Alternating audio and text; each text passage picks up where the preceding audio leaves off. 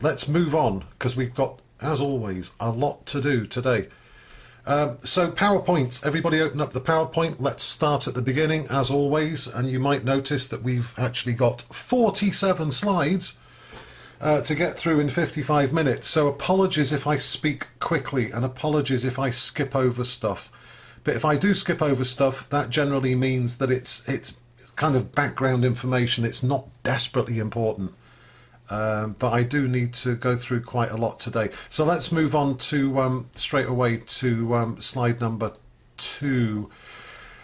Okay, so we're making progress, folks. Um, it seems like only yesterday that uh, we all met each other, albeit uh, virtually through the uh, uh the wonders of uh, Zoom and Moodle and internet and all that other technology that we take for granted. It's not quite the same as teaching in real life, but but like I said, we did do something similar for the uh, spring semester last year because COVID kind of came to our shores around about uh, 12 months ago, wasn't it? 11 months ago. So we, we, we, this does work. So don't don't worry too much if it's not uh, as we would like. Um, so slide two, we're making progress. So you with Adam last last week, he was talking about ownership. Um, can I just say, I've noticed, I, I, had a quick look at what Adam covered last week. Um, so some of the stuff he spoke about, um, I'll, I'll, be talking about today um, to, to an extent, which is no bad thing because it ties it all together. So I will be talking about the uh, the, the, phone hacking scandal uh, in brief because it is related to media ethics regulation and law, as you might expect. Um, Adam discussed it more in terms of ownership, um, but you know, don't worry if there's a slight duplication. So on the left, uh, there we are, the um, light blue circle. That's where we are, week five. I've also included a dark blue circle, and that is uh, I mentioned this in week one. Our esteemed visiting speaker, Professor Duncan Bloy of um, Cardiff University, he's a very, very, um, uh, very, very well respected specialist in media law and social media. So, so today I'm not able because I tried to cover three things when I designed this presentation. I wanted to cover media ethics, regulation, and law, but there simply isn't time to do the law so between now and Duncan's session on uh, Tuesday, March the 16th, we will do law. So don't worry about that. I'm not sure when yet, but we will do it. Um, the other thing to remember, and I mentioned this, I gave you prior warning for this, is that we have a visiting speaker in the uh, workshop on Friday. So at one o'clock on Friday, the 19th this week, uh, you will have an hour with a young woman called Charla Bullitt. And Charla is a graduate of Roehampton. She's an MA graduate. And for the last two years since she graduated, she has been building her career. So I spoke in um, week three about different types of business organizations. So Charla is freelance.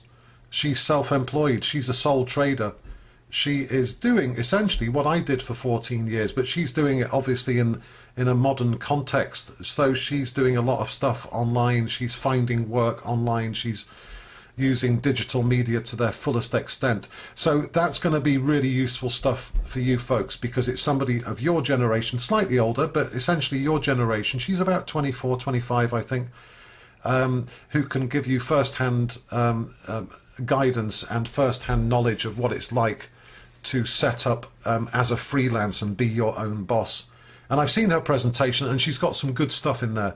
Um, Charla is to be congratulated on uh, the energy and the confidence and the creativity that she's injected into her career so far. So make sure you come to the workshop on uh, on Friday. Um, and the other thing that we'll be doing in the workshop as well, I'll be talking about assessment. Uh, well, both assessments actually, and giving you some guidance on uh, structure, content, and research. And if you remember, those are three of the five criteria that you will be assessed upon. So make sure that you come to the workshop. I'm sure you you will. I, I must say, actually, attendance in this group is pretty good. Uh, in some groups, it's not so good, uh, but for some reason, um, your group is pretty well engaged. So well done for that. It always helps to show up, doesn't it, folks? It always makes life so, so much easier. I always think about it as if you're a footballer and you don't show up for the game, you ain't going to score a goal. You know, and it's kind of like that with education as well. And I know that some of you have connectivity issues and don't have broadband, uh, but thank goodness for technology. So everything's recorded and the PowerPoints are online. Right, let's move on. Um, so, slide three, just to tell you, just to emphasize why we're talking today about ethics, regulation, and to a lesser extent, law. The module outline, as you know, this is a brand new module. Um, so, me and Adam have designed it um, in a way. We've kind of interpreted the brief, as it were, and we've we've been a little bit creative ourselves as well in how we've done it. Now, what the module outline says, the two key words, three key words highlighted in red, uh, it says this module will lay the groundwork for the more detailed exploration of dis- different aspects of the media environment, which is one of those awful academic phrases that can mean nothing and everything. Um, so what I mean here, what the way we've interpreted it, me and Adam, is that the UK media environment is subject to regulation and law. Um, so, as you will see, we all like to think that we've got freedom of speech, but actually, when you scratch the surface, uh, we those that uh, privilege, and it is a privilege compared to some countries, is actually restricted. Um, so, what we're going to talk about today is the regulation, is the ethics, ethical framework, if you like, and the regulatory f- framework in the UK for the media. So that's how it ties into the grand scale of things. Slide number four. Slide number four. So, first thing I want to point out here is that ethics, regulation, and law. At a previous university, I had a module that was called Media Ethics, Regulation, and Law. And it was three hours a week for 12 weeks. That's 36 hours. So, at this other university, your equivalents, your counterparts, had 36 hours of teaching uh, for these three subjects, and even that wasn't enough. I could have easily done another 36 hours. In fact, you can do whole master's degree qualifications. The whole program, the whole course is can be devoted to these subjects. So it's an enormous subject, three enormous subjects and I'm going to have to try and cram it all into one hour, or rather two hours, my hour and Duncan's hour. So just be aware that there is much more to this than meets the eye, and my job today is introduce you to some of the basic principles and uh, restrictions on this thing called freedom of speech. Now, freedom of speech is something which hopefully you've all heard of, and it all kind of makes sense to you. Uh, so freedom of speech literally means the, the, the, the, freedom to say what you think and to say what you believe and and to um, have the liberty, have the, the freedom to express yourself in a way that you think appropriate. Um, and it's one of those things that we kind of take for granted in the UK and other Western democracies as well, because in some parts of the world, freedom of speech is extremely limited extremely limited, and I'll talk about some examples of where it is limited in a few moments. Um, but freedom of speech essentially is, is the foundation of today's class. And it's the foundation in many ways of media in general.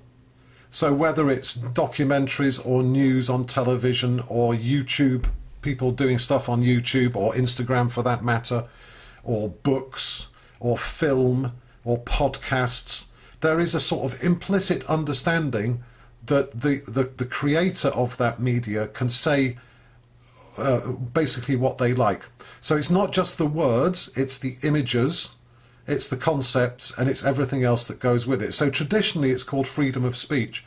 But I would like everybody to think of it in a broader sense freedom of expression, how you express yourself. And like I said, we like to believe in this country that we have freedom of speech. Slide five. Um, in some countries, um, they have what's called a constitution. You might want to write that down. I'm sure you know about this because it's been in the news a lot recently. So, in the United States, they have a constitution, which is basically a document that explains the relationship between government, the state, and the people. Now, we don't have one in the UK for lots of historic reasons, and it frustrates me personally that we don't have a constitution. Most countries that have been through a revolution or a very traumatic period where the country was basically reinvented uh, they do have a constitution. And America is the classic example because, as you probably know, America many years ago was part of the British Empire 250 years ago. And then there was a revolutionary war, and the Americans kicked the British out and they set up their own country with their own parliament. And the American system of government, even though it's gone through a traumatic period recently, it is actually very robust because the founding fathers of America they laid down in written format exactly what the rules are. So they have a constitution and they have Americans have what's called constitutional rights. In other words, they have a right to do something and the government can't stop them from doing it.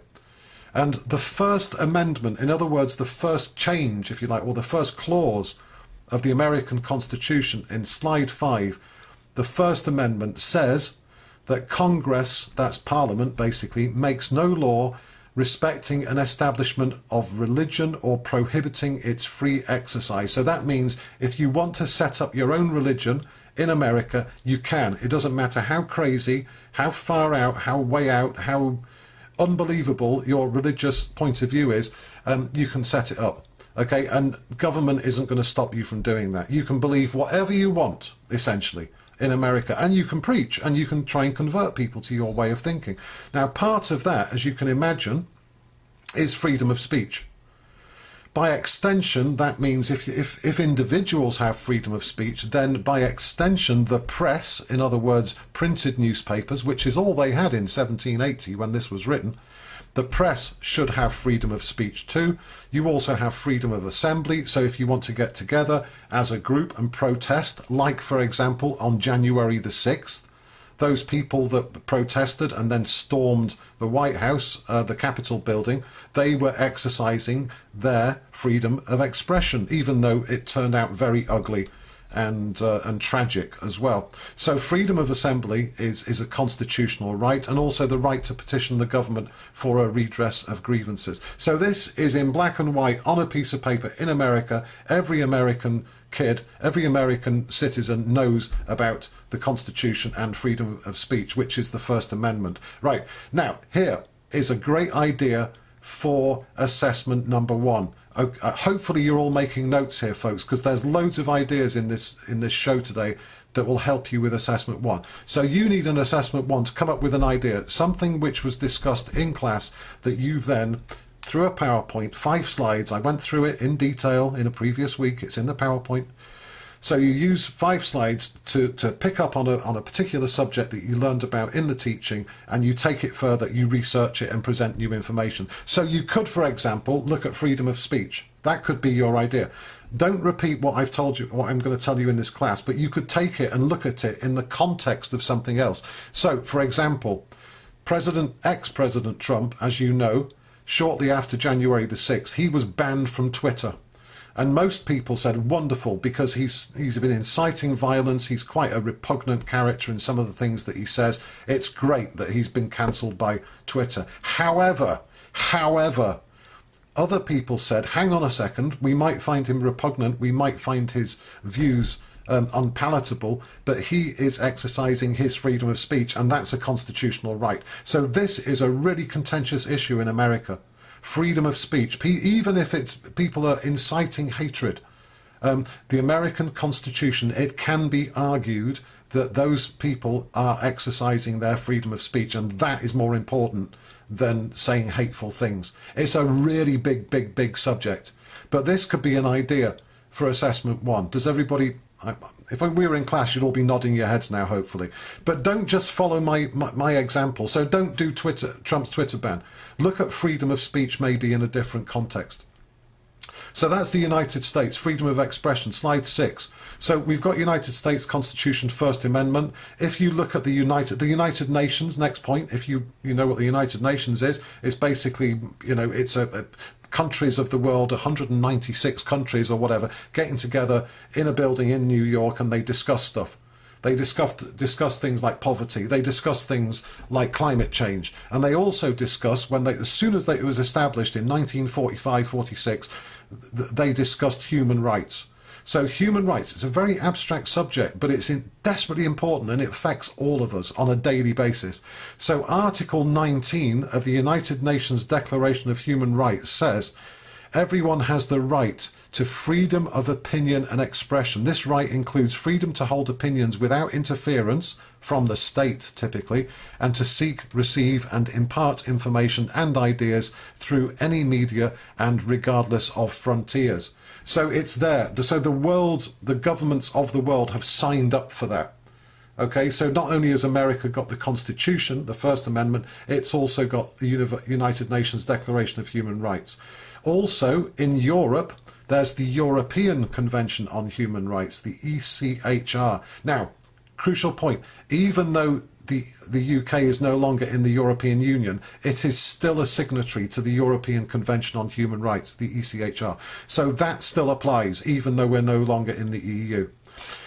So in 1998, in terms of in terms of the UK in 1998 one of the best things that Tony Blair ever did he did lots of bad things when he was prime minister but he was very keen on the human on human rights he actually used to work as a human rights lawyer his his wife still does Cherie Blair so in 1998, the UK incorporated the European Convention on Human Rights into British law in 1998. So if you look all the way through the list there, we got the United States, the European countries, the UK, United Nations. Freedom of expression is a fundamental human right in a liberal democracy, not in all countries, as we will see in China, in Russia, in some parts of the Middle East, it's not considered a human right, even though these countries have signed up to the UN Declaration. But in a liberal democracy, freedom of expression is desperately important. Slide seven. So if you go uh, online and uh, check out, uh, I think it's called the um, um, Equalities Commission, there's a great website um, that, that describes in detail, slide seven, what the Human Rights Act actually is. So, Human Rights Act 1998. So, it sets out the fundamental rights and freedoms that everybody in the UK is entitled to. Everybody, folks. Doesn't matter your age, your how wealthy you are, your ethnicity, your gender, your sexual orientation. Doesn't matter. Human rights means everybody. Everybody.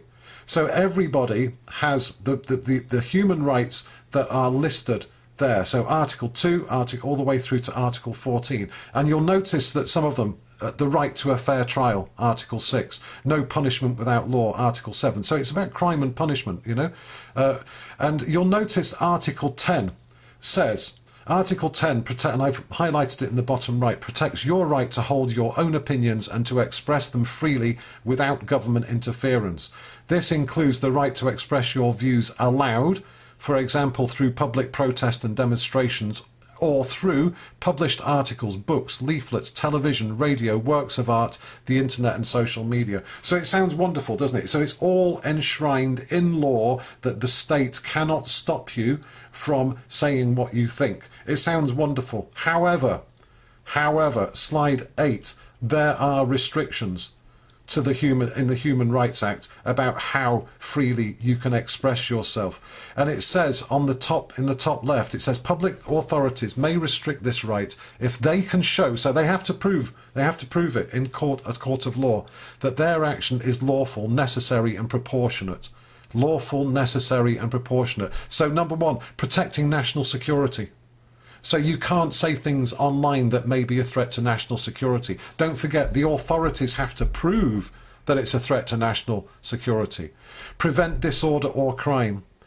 Protect health or morals. That's a, a very, very um, important one at the moment. So, that, as you know, there's lots of seriously irresponsible stuff on social media and elsewhere about COVID you know some of these crazy remedies which don't work you know some of the stuff about uh, how dangerous vaccines are. And one of my mates told me that Bill Gates is involved in all this and he he wants to inject microchips uh, through the vaccine so that he can keep tabs on us. And Bill Gates is actually a really evil person. You know I mean I just look at that sort of stuff and I think oh, you don't be ridiculous. But some people believe it.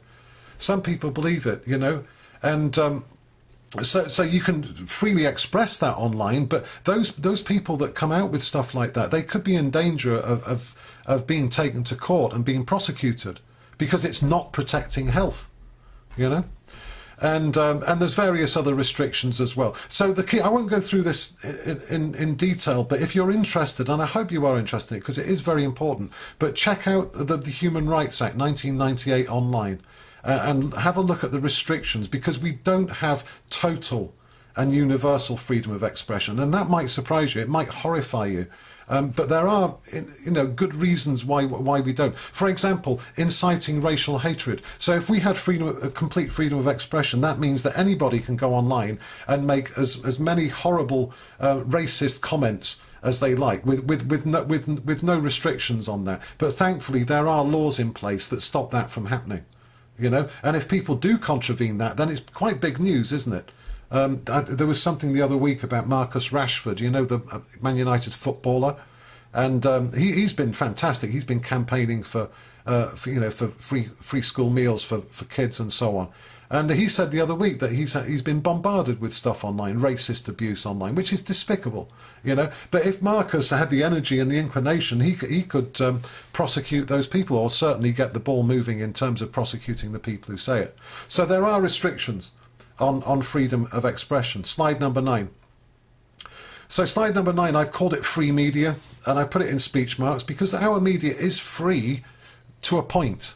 To a point. And the reason we have free media, like any other democracy, is, is that in a democracy, what it means, again, it's an abstract word and we take it for granted. And some people say, I'm not interested in politics. But you are, whether you know it or not, you are actually interested in politics because you want, I, I hope that you want to know what those people in the House of Commons are doing and discussing and the decisions they're making. Because they're doing it on your behalf and my behalf and your parents' behalf. and not only that, they are spending our money, our tax money, in the process. So we have a right to know what they're doing. Right, and that's what that's why I say it's a free media. So the media reports on what's happening in Parliament and, and we have a, a right to, to, to know what they're doing. Two other words I've used there accountability and transparency. Again, they're two quite pompous words and you might kind of switch off when you hear them. Accountability means that they're doing it on our behalf. So if they do a bad job, in four years' time, we can get rid of them and vote somebody else in to do a bad job. No, to do a better job.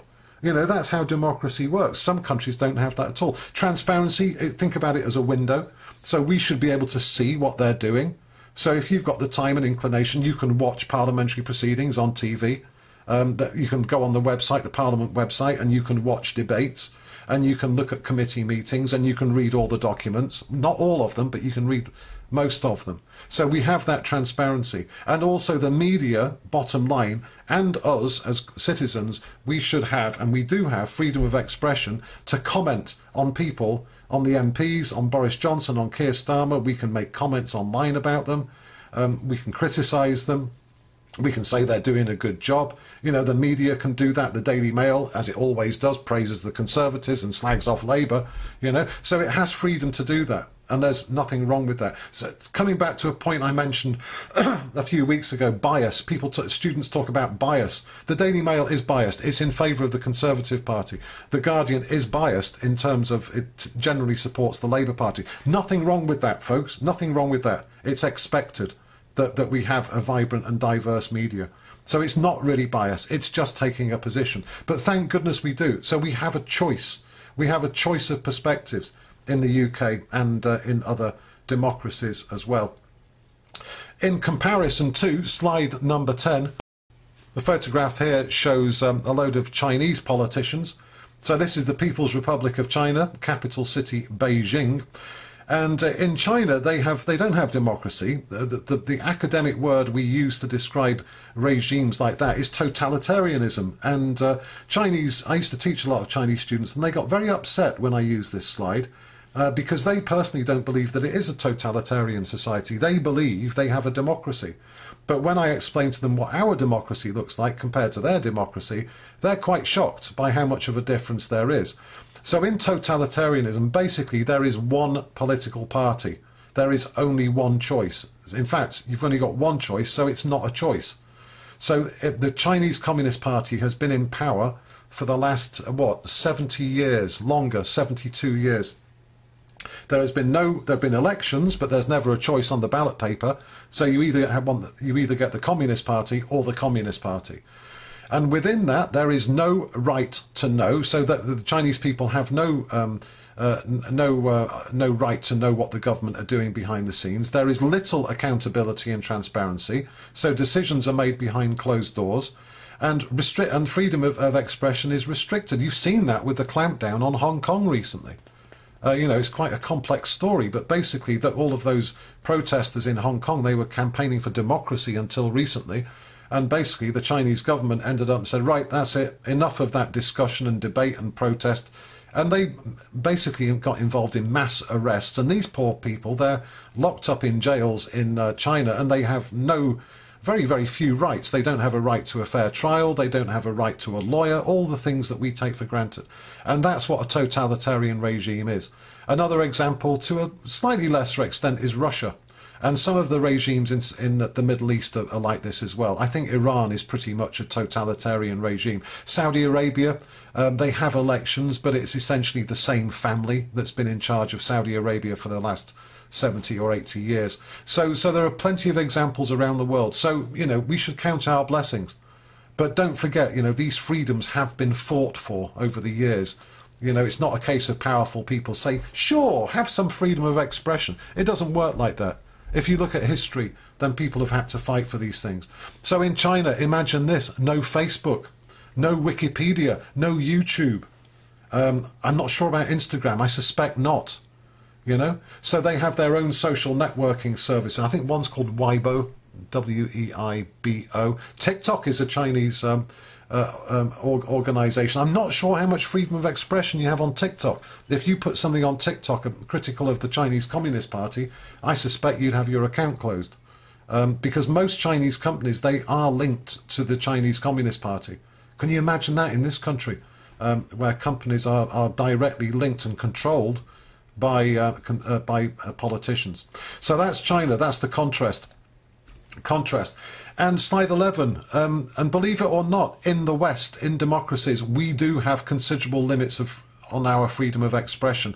And I've used some examples there um, of uh, historically of of of media uh, in the broader sense of the term uh, that has been either banned or criticised or cancelled, whatever word you want to use. Now, I'll just go through, through a couple of them very quickly because we're running out of time as always.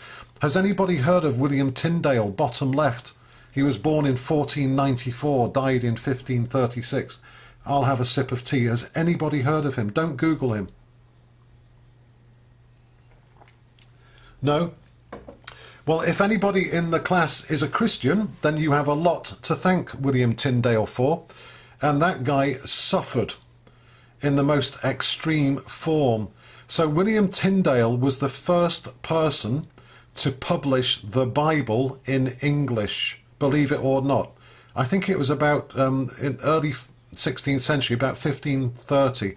He was the first person to publish an English version of the Bible. Prior to that, every Bible that was ever printed was in the UK was printed in either Greek or Latin. And the problem with that, Tyndale said that's a real problem because that means that normal people cannot read the Bible of their own accord. They would need a priest who speaks Latin to explain it to them, and hence the priest can change the message depending on his, and it always is or was a his, a he, uh, preferences. So Tyndale was a complete revolutionary and against all the rules, he printed that he translated the Bible into English and published it. It was the first time the Bible was published in English. And he was accused and convicted, believe it or not, of heresy. And the picture there shows his sad demise. He was strangled and then burnt at the stake.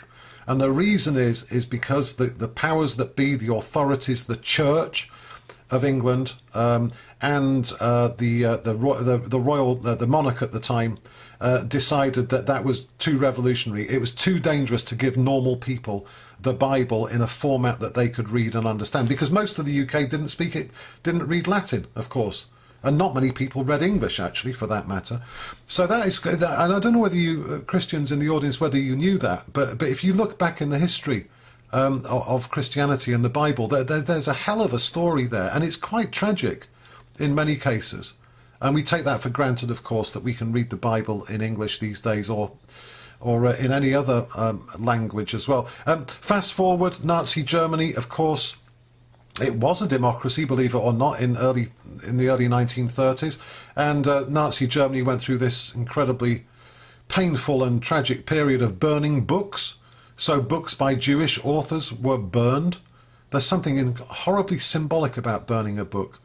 And somebody once said once a, once a society starts burning books, the next thing it does is burns people. So whenever people start doing that, we should be extremely worried.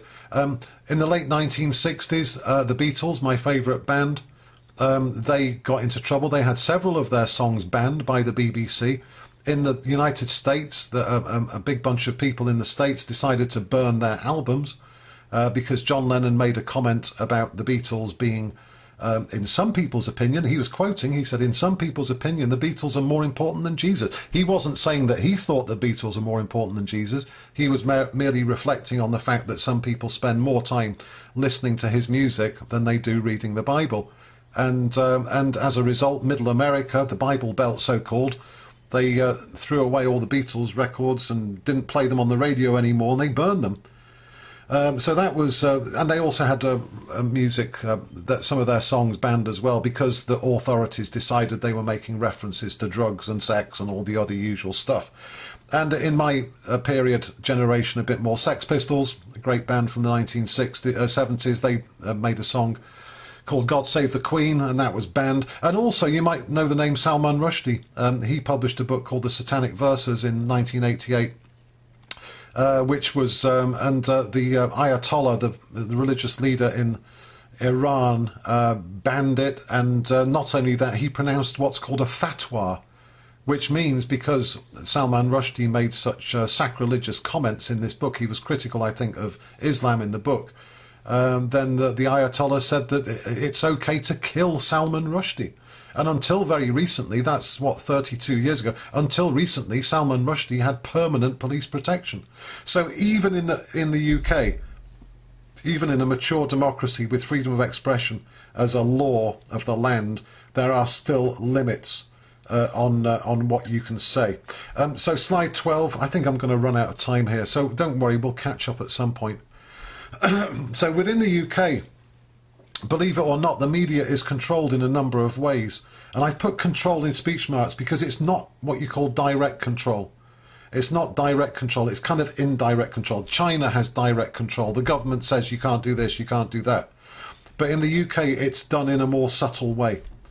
Um, and essentially, there are three ways in which the media is control. Control. Let's start at the bottom with ethics, and you'll notice it's in smaller letters and a different colour. So ethics, and I'll describe them in a minute they're not as powerful a control mechanism as the next one up, regulation, which is in a larger font. So regulation is more powerful than ethics. And the most powerful one is the law, the law of the land. So the higher up that the hierarchy you go, there's more control and the penalties are greater. More control and the penalties are greater. So if you break the law, as you know, you can be fined or you can in some cases go to jail. So that is the most punitive uh, penalties. Uh, regulation. Uh, if you break regulation, you, you can't go to jail, but you might be fined. Ethics, you don't get fined, you don't go to jail, um, but but you know you can still lose a reputation. So so think about it in those terms. The higher up that stack you go, the more control and the greater the penalties. Let's talk slide 13 about ethics. If anybody's got any questions, points, whatever, dive in. So ethics, what this means, you've probably come across this at, at school or maybe in in, in a previous branch of education. Um, or if you're a religious person, you, you know all about ethics, you know. Um, so ethics, what it is, it's the branch of philosophy that seeks to address questions about morality. So morality, moral issues, ethical issues, what's right and what's wrong, what's good, what's bad, what constitutes justice, what's virtuous, all of that sort of stuff. That's the territory we're, we're talking about here. That's what ethics means. So we have ethics within the media industry. Um, slide 14. Um, as I say, if you, if you are religious, and it doesn't really matter which faith is is, is your own, uh, you're probably used to ethics and morals, uh, because whether it's the Catholic Church, there's uh, I think it's one of the previous uh, popes there. I forget which one. I'm not uh, religious particularly, but that, obviously it's a pope. Uh, and on the right hand side, I think that's the um, the, the, religious read, leader in Iran. I did this slide a while ago and I've reused it. But anyway, it doesn't really matter whether it's Christianity or Islam or Sikhism or Hinduism or any of the world's great religions. Um, generally speaking, or Buddhism, generally speaking, each of the religions has what's called a moral framework. Uh, and philosophers would call it moral absolutism. So, in other words, according to, to, to, Roman Catholicism, some actions are always wrong. And it's the same in Islam. I don't know a lot about Islam, but as I understand it, alcohol that is always forbidden, right? So there are various things which are always wrong. So that's kind of like the moral foundations of faith. And the thing is that they're always wrong, even if they lead to beneficial or less harmful consequences. And the Catholic Church over the years has had a lot of criticism because the Catholic Church has always said that abortion is always wrong, even in the, the, the extreme cases like, God forbid, incest, you know, or or if if if it if it's um if it threatens the if, if a birth would threaten the life of the of the mother or whatever it might be. And the church has come under a lot of criticism for that because it, it's traditionally been very uh, very immovable. It's always wrong. Abortion is always wrong. Although there are signs now that the church is changing its mind. So that's moral absolutism. And that's typically what you get with faith.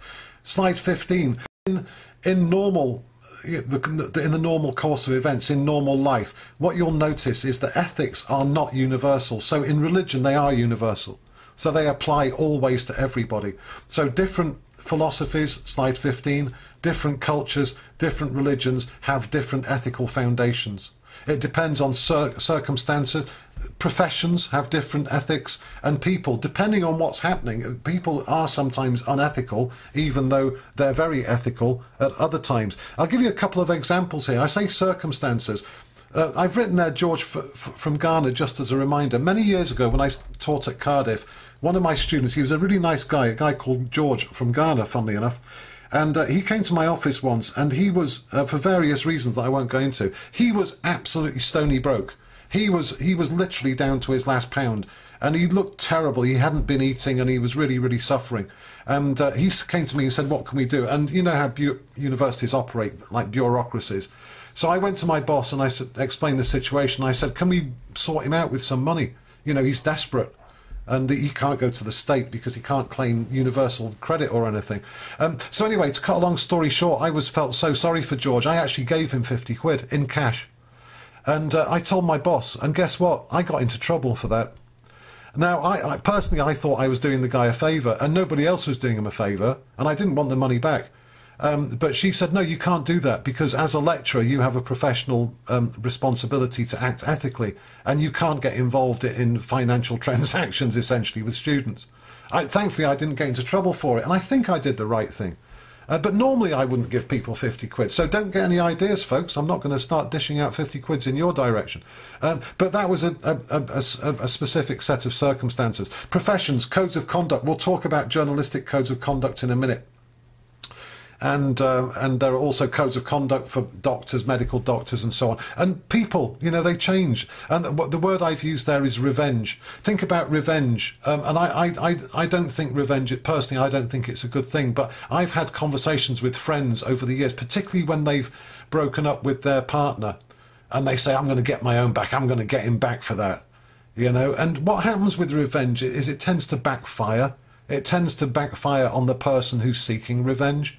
But my point here is that people who are usually normal, you know, kind, caring people can be quite bitter and angry and really vindictive if, if they are crossed. Personally, I would recommend that you don't do revenge because I've seen some terrible examples of where it's backfired.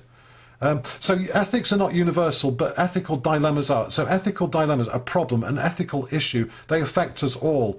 And if you don't believe me, think about soap operas you know, EastEnders, Hollyoaks, Coronation Street, whatever, they are packed full, aren't they, of ethical dilemmas. What's the right thing to do? Should I do this? Should I not do it? Should I tell her? Should I not tell him? And let me give you an example. In slide number 16, I'm going to throw this one over to you. Let me tell you a story. This is another true story, again from Cardiff, and uh, this was about, oh gosh, 10, 15 years ago. And I had a group of MA students, and uh, one day this student called Robert, and you see him there. He, he, kind of looked a little bit like that. He didn't have his mustache, but but he's he's kind of. Uh, kind of, you know, that's not a, bad representation of Robert. So Robert came to my office and he said, Gary, can I have a chat with you? And I said, sure, what is it? He said, well, you know that David and Beth, and you see them pictured there, uh, they also on the same course. Uh, you know that they're you know massively in love and they're in a in a in a committed relationship. And I said, yeah. And he said, well, he said I was at a party at the weekend. Slide number seventeen. I was at a party at the weekend, and for some reason David wasn't there, but Beth was, and uh, she was getting very close to this other guy called Carl and they were sharing a, having a drink together and dancing and etc etc and he made it quite clear that there was no doubt in his mind that they were that Beth essentially was cheating on David and Robert said to me he said I don't know what to do I really genuinely don't know what to do he says I know both of them I know Beth and David but David's a really good mate of mine so should I tell him or should I not? Or what should I do? So over to you, folks. Just dive in, turn your microphone on. If this was you, if you were Robert, and you had two friends, Beth and David, what would you do? Because I, I, I, found I found it hard to to um, to to advise him here. Anybody want to add anything? Come on, folks. I'm sure you've experienced this, haven't you, with your mates and so on. Tell David, Diab, you tell David, right? Can anybody say what the negative of telling David is? Yeah, it, it, would. I mean, let, let, me tell you, because we're running out of time. I've, I've grossly underestimated how long this is going to take. We'll pick up with this on on on on, on Friday. Yes, yeah, you're right. Yeah, yeah, you're right, Harry. But the point is, the, the, whatever you do, whatever Robert did, and I said this to him, I said, Robert, whatever you do, it's gonna, it's gonna, it's gonna be bad, isn't it? So you can not tell him. Don't, just don't get involved. You could do that, and of course, David will find out in the future that, that Beth has been cheating, and David will say, Why didn't you tell me, Robert? I thought you were my mate. Or you can tell him, and as, um, as Harry said, David might think he's lying or be upset that his heart's broken. Um, or I've done this exercise before in previous classes, and somebody said, Well, Robert should have a word with Beth, which is not a bad idea, or he should have a word with Carl. Possibly. But this is a, a, an eternal dilemma, isn't it? Getting involved in other people's lives. This is what soap operas are based on, isn't it? Let, let me tell you what actually happened. I mean, I said to Robert, I, I, I went through the options with Robert, and I said, I, I said, you're damned if you do and damned if you don't, Robert. That's the problem. And Robert thought about it, and I said, I can't, I can't advise you. I said, it's completely up to you. I said, I really do empathise and sympathise, but it's completely up to you. So in the end, Robert did tell David and believe it or not, David was so shocked and horrified and didn't believe him that David and Robert broke friends. They, they, they were no longer friends. And then, lo and behold, a few months later, David found out that Beth was. Uh, uh this was her personality, basically. she wasn't really what you call um, a one-man woman. I think that's probably the way to describe it. Um, and they separated. So, but it's a terrible, it's a terrible ethical dilemma. And uh, I hope you folks don't have to be faced by that. I've been in that situation before in the past, and it's a horrible thing to deal with. Um, so let me give you another one. But that's an ethical dilemma. So j- j- the point here is that ethics, it, sometimes it's a question of opinion. It's a matter of opinion whether something is ethical or not. Let me give you another example. Slide 18. Slide 18. Ethical people. Right, so imagine that your ex partner, your ex partner, folks, called Nick. So Nick is one of the the reason I've chosen chosen this name. It can be male or female. So whatever. It doesn't matter whether you have male partners or female partners. Imagine that Nick has won the X Factor and has become famous. So this is an ex of yours, and the Sun, the newspaper that you know, likes a bit of scandal. The Sun, doesn't it? The Sun says, big front page headline, if you've got any stories about Nick, we want to hear from you. And they're offering money. And their son does. This is exactly how it operates. You think about those folks who are on Love Island in previous years.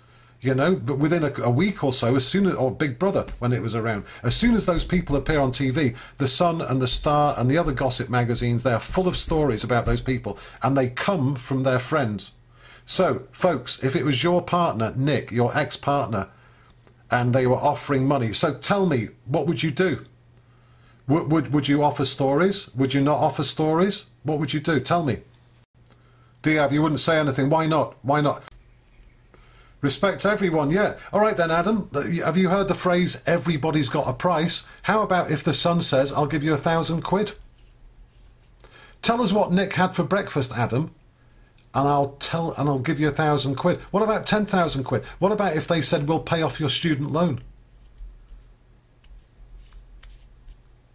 You know, I mean, it's it's easy. It's well, no, she's an ex. He or she's an ex. Don't forget. When I've done this exercise before, people have said, well, if she's an ex or if he's an ex, then it doesn't matter because they're an ex for a good reason. You know, so so so I usually when we do this in class, I get a whole variety of, of, of answers to this question. Some people says they say it depends how much money. Some people say take the point of view that Diab and Adam have taken that you definitely wouldn't say anything ever.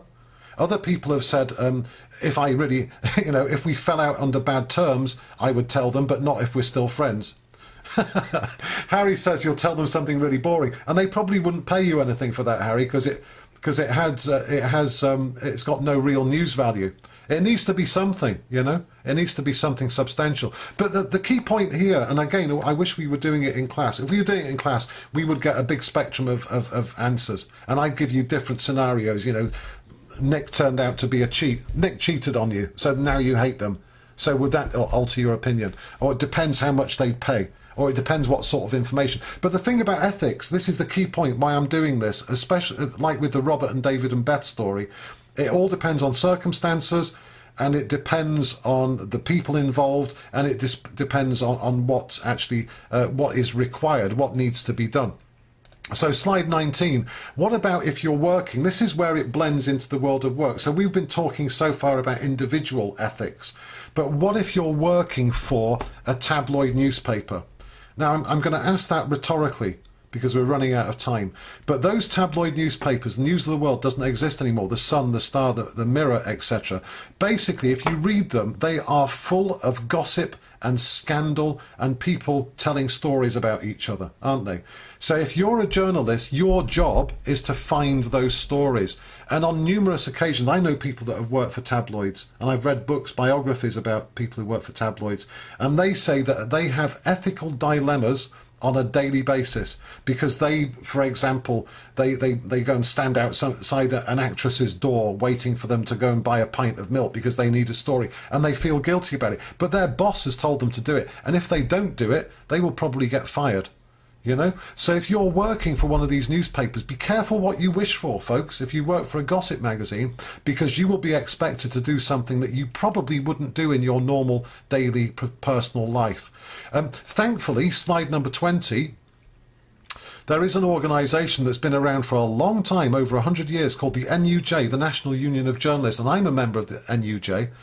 And the NUJ, like all unions, what it does is it campaigns for better pay and conditions for its members. So it's a very noble organisation. I recommend if you want to be a journalist, you join the NUJ. And the NUJ has a, something called the Code of Conduct. So what the code of conduct is is it's something that as a journalist you kind of agree with. You implicitly sign up to it. Now it's not a case of like signing a contract and saying I will do this and if I don't do it you can fire me. But these are basically the ethical um, the ethical dimensions if you like of journalism in the UK. Slide 21 you can check that this again this is great this is folks make a note of it this is great potential for assessment 1 great potential for assessment one. Slide 21. So what the what the uh, code of conduct says is 12 things. You might recognize number 12 because that's important for you as students, as right? You you do not copy other people's work. It's a bad thing. Don't do it. Um, you know, so that is one of the ethical considerations of professional journalism. Point number one, at all times upholds and defends the principle of media freedom, the right of freedom of expression, the right of public to be informed. Second point strives to ensure that information disseminated is honestly conveyed, accurate, and fair. So these are the, and there are various other ones that you can read through at your uh, at your leisure. But in each of those twelve cases, you can find examples of where a journalist has not followed the ethical code. This is, like I say, this is great potential for assessment number one. So you could choose something, for example. Um, like number six, does nothing to intrude into anybody's private life, grief, or distress unless justified by overriding consideration of the public interest. So the public interest means that the public needs to know this. It is it's it really important. So if a politician is, is for example, stealing money, you know, you can, as a journalist, intrude into that politician's life, and that it's justified because that politician is our servant. Politicians are our servants in a democracy, folks. Don't forget that. They're working for us.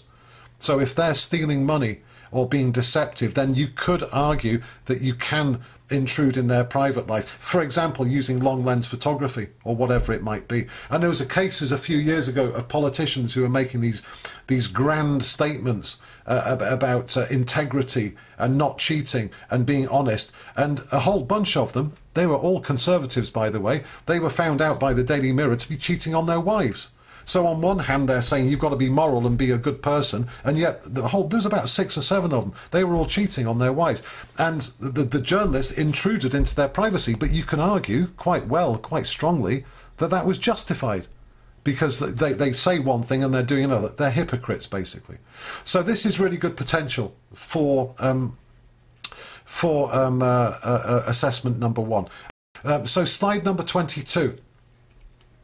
Slide number 22. As I said at the beginning, think of this as a hierarchy. So at the bottom, you've got professional codes. So the NUJ code is a professional code. Okay, and if you contravene it, if you break the code, the worst thing that can probably happen to you is that you lose respect from your colleagues and your boss, maybe, and the, the people that read your work.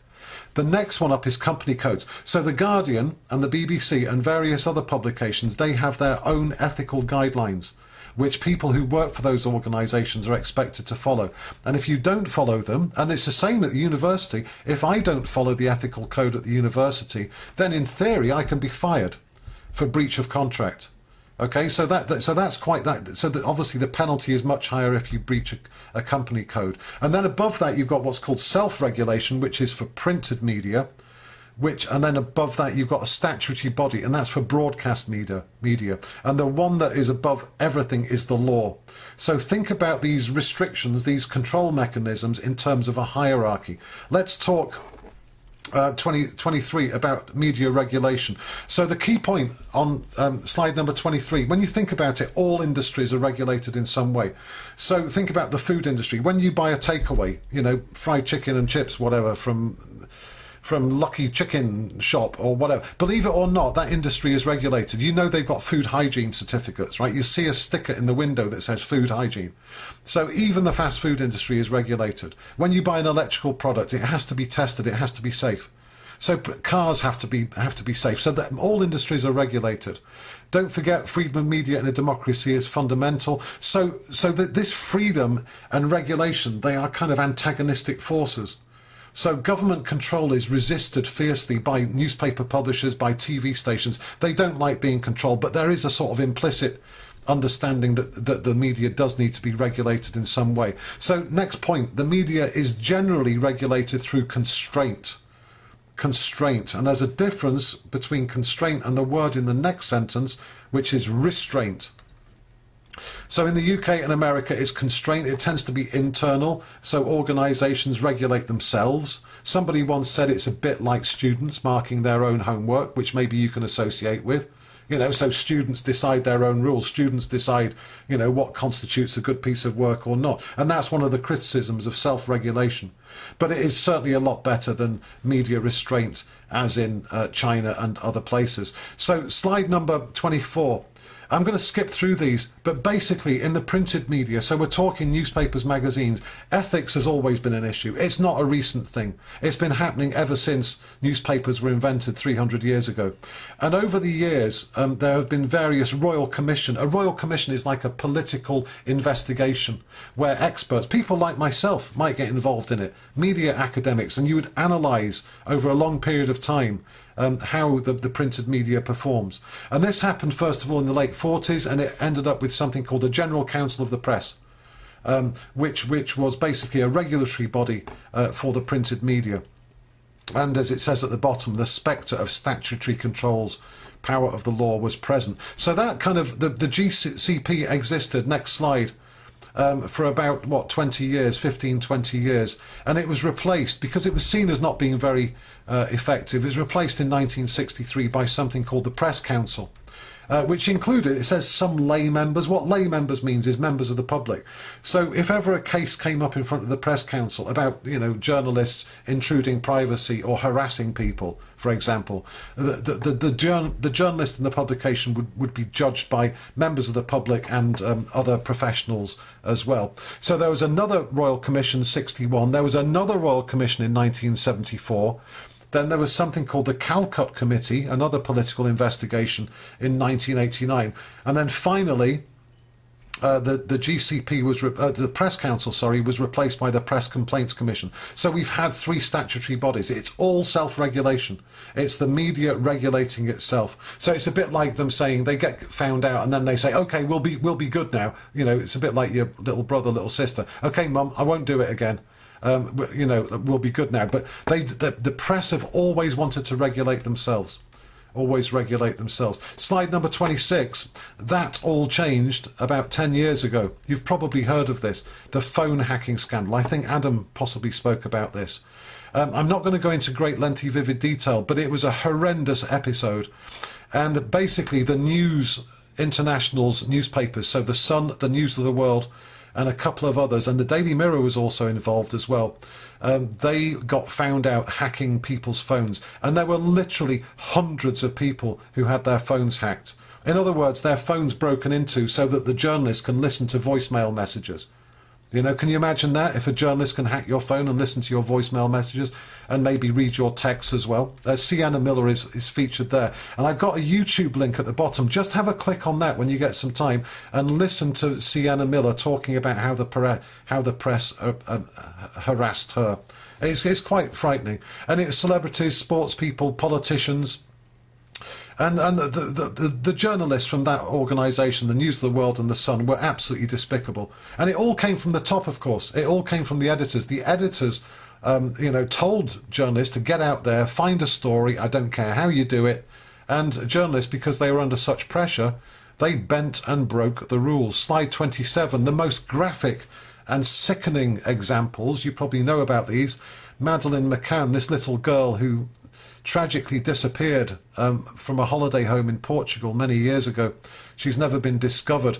And the, the Daily Express, in particular, absolutely hounded the parents of, of this poor little girl, and they har- harassed them and uh, and and uh, and were very very threatening and never let them alone when they were trying to grieve and come to terms with the loss of their child.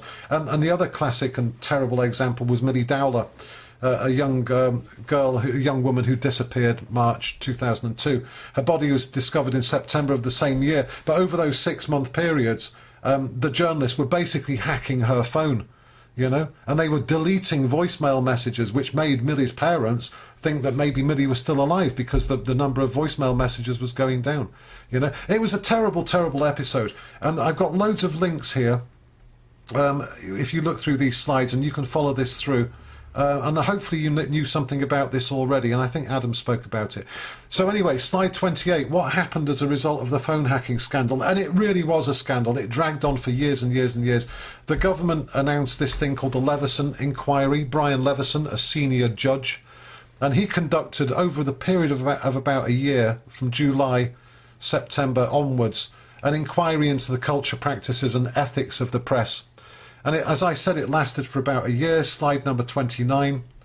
You can click on the link uh, at the bottom and you can read all about it. His final report uh, was very damning about the way that these journalists conduct themselves, very damning about News Corp and Rupert Murdoch and the news. The News of the World, of course, was closed. That was Murdoch's response. It was a bit of an empty response because he closed it and simply reopened it as the Sun on Sunday. And I personally haven't noticed any difference in the way that journalists do their job.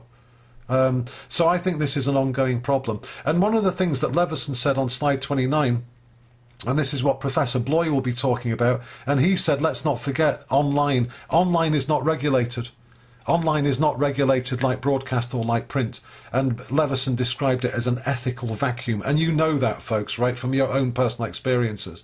People don't follow any particular rules online. There's some pretty despicable, disgusting stuff. online, you know, trolling and all that sort of stuff. So Leveson did open the door there for maybe regulation, and it's something which government are discussing as we speak. So let me just finish off. I've gone over time, and I apologise.